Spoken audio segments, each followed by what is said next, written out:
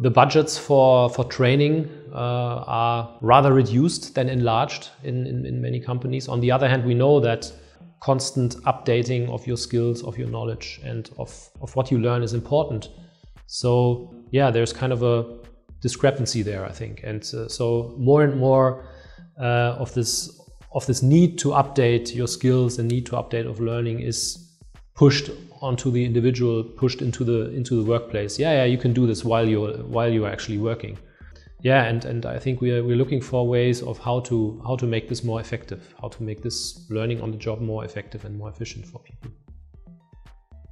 It's especially it's especially uh, important for SMEs because um, SMEs they usually hold a very specialized type of knowledge, and that's what makes them important and strong.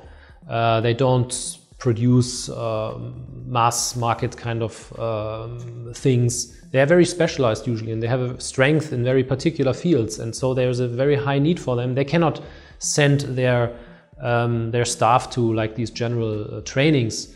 They have very very special kinds of needs and, and expertise, and this is the yeah kind of expertise and knowledge we want to we want to tackle when we when we yeah when we support people in learning. So we want to strengthen the, the, the SMEs in developing their strengths that they already have with the workforce they have and, and with the new workforce that is entering them.